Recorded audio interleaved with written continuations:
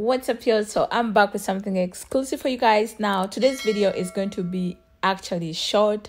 And this is what i have to say. Congrats to nicole and her fiance you know with their newborn. So yeah um i just wanted to put that out there. And also i would like to know what you guys think about domo wilson and lawrence. The fact that lawrence came up and you know stood up for himself and said he doesn't want to be friend zoned anymore um so yeah i just want to hear what you guys have to say about that i feel like my gal domo has been friend zoning this guy for so long and i was so happy when i saw his comment so let me hear what you guys have to say. If in case you have something to say about um you know domo and lawrence.